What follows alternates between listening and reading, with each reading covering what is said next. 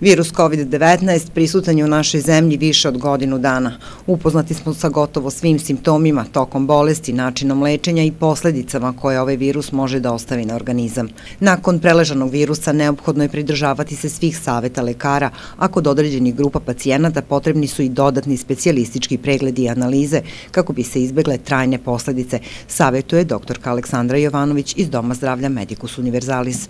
E, zato je bitno, te neke simptome postojeće, uh, posle te akutne infekcije COVID-19, te neki simptomi se posle i produžavaju i postaju trajni simptomi uh, ili pak uh, dođe do pogoršanja tih istih simptoma ili do novo nastalih simptoma. Zato je bitno posle preleženog COVID, ako osetite bilo koje simptome da su se produžili, kao što je, na primjer, dispnea, kašalj, bol, stezanje u grudima, mnogo je bitno odraditi dodatne preglede.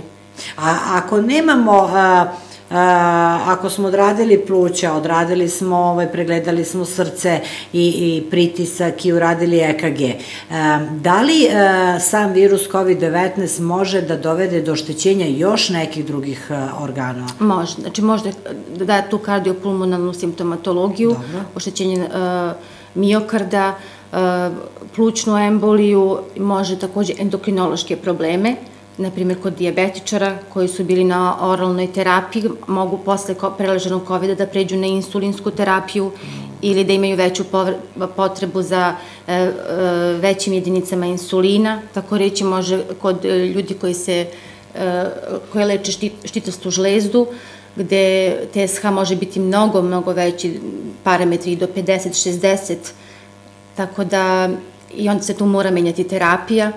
Tako re, isto, ako se koristili kortikopreparati za vreme akutne infekcije COVID-om, može tako će dođe do insuficijencije nadbobrežne žlezde. Dom zdravlja Medicus Universalis pruža kompletnu diagnostiku i lečenje COVID pacijentima. Takođe jedna je od zdravstvenih ustanova koja posjeduje najsavremeniju laboratoriju u Srbiji, zbog čega je od strane Ministarstva zdravlja omogućeno da vrši serološka i druga testiranja na COVID-19 virus.